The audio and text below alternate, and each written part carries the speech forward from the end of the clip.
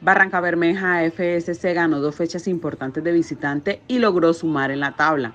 Dos partidos importantes se enfrentó este fin de semana el Barranca Bermeja FSC, el primero frente al Real Catatumbo y el segundo frente al Bucaramanga. Los dos triunfos en condición de visita, uno en convención y hoy ratificamos en Bucaramanga por un marcador de 4 por 3 que nos pasó a segunda posición después de estar en, en las penúltimas posiciones de la tabla.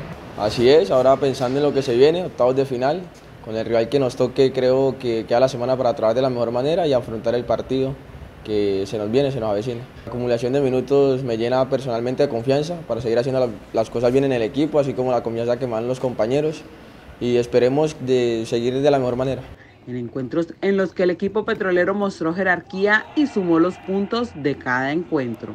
Contentos porque pudimos sacar dos victorias importantes en condición de visitante. Este, que nos ratificaron segundo allá en la tabla. Como se dice, lo bueno, se viene lo bueno, esperemos esta semana trabajar seriamente y este, sea el rival que sea, este, hacer las cosas bien y Dios quiera nos, la gente nos acompañe, que es importante. Positiva, positiva, yo creo que el equipo ya está acostumbrado a estas distancias, este, tenemos jugadores de experiencia y los muchachos que nos vienen ahí ayudando, yo creo que va a ser importante que todos estemos para estos partidos.